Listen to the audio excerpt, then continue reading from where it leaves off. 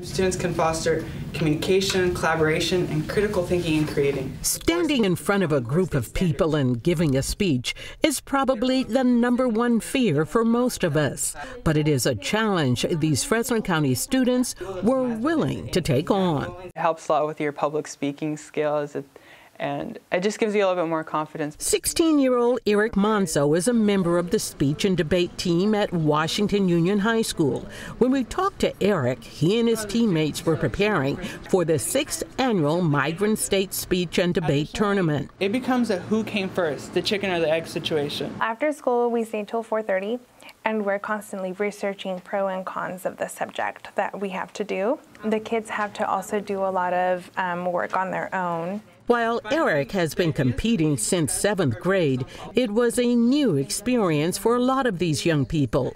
As migrant students, many of them are always in transition because of their parents' work because a lot of times they don't have the opportunity because they're moving from place to place. They miss out on a complete sports season, or they're not able to be uh, in another like for band, other other programs like that after school. Uh, so this is a special event just for them, and we're hoping that this builds on their confidence and they can join other programs.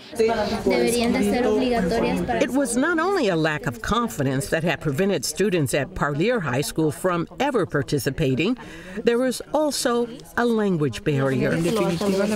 Primarily, we have a lot of ESL students here at the at Parlier High School, so most of them speak Spanish, but knowing the fact that they would be able to participate in a Spanish category kind of got them excited. Este parásito afecta a casi 4 millones de personas. Although 17-year-old Viviana Gallardo could have competed in the English category, she chose to join her classmates who participated in the Spanish category. She did it to give them support because she knows what it's like to be new to this country and struggling to learn the language. I know it's hard because I, I was like that too. When I came over here, like it was hard, really hard, because I didn't know English, so they were just like bully or something. They'll make fun of you because you didn't know English, so now I I feel them, so now I could help them. It would be the first time Parlier sent a team to the regional competition. The students did well enough to come in first and second, qualifying for the state tournament. Tienen interés en ganar dinero por medio de la venta de vacunas.